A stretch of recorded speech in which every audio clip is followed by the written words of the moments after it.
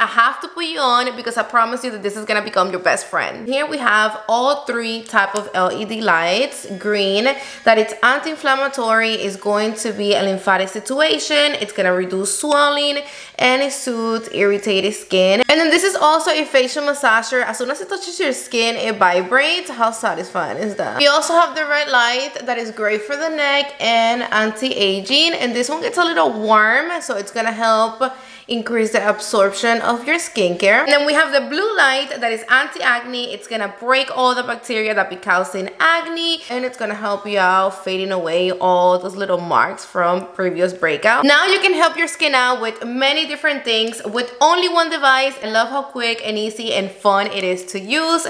You can use all the three lights together or the one that you need the most. I really recommend you this. You need it in your life.